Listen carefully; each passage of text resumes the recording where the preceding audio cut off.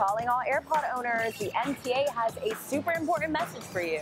The MTA says it's had to retrieve 84 Apple AirPods that subway riders dropped on train tracks between March and mid-July. Transit officials say that if that does happen, to never ever climb down to get them back.